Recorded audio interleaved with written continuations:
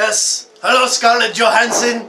Yes, this is Moohammad leaving you another message. Listen, I know, I know you broke up with that 2% Ryan Reynolds, but if you're ready to try some half and half, baby, you call me back, eh? I gotta go. Hey!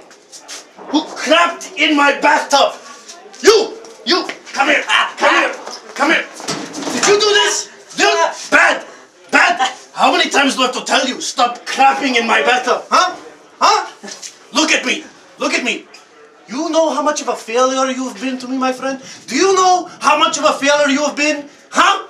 I've worked so hard for you, Philip! And you lose, and you lose, and then you lose to a woman? Not even a woman, some little girl? You lose to a little girl? You're not Flip, you are shit!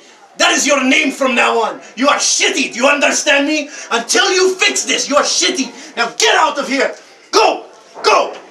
Want to clean up this poop. Go! Get out of here!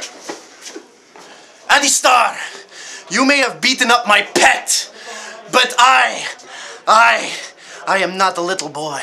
I am a grown mammal. And I swear it, Addy Starr, you, you will fall in that ring.